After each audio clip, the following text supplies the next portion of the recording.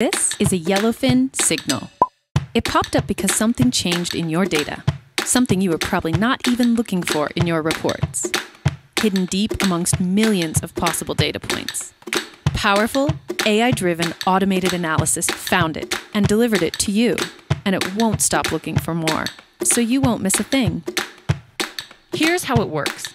Unlike a threshold alert, Signals automates data analysis by monitoring every slice of your data for statistically significant changes, including period comparisons, trend changes, spikes, dips, and more.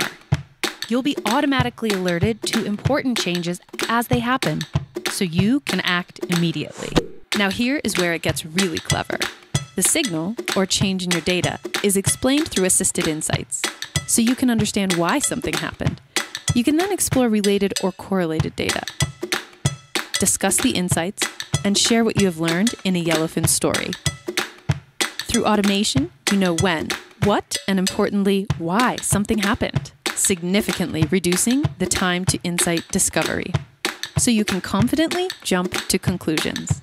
And it's all part of the innovative Yellowfin Analytics Suite, the only enterprise analytics suite that successfully combines industry leading automated analysis, data storytelling, and collaboration. Yellowfin. Data changes. Know why.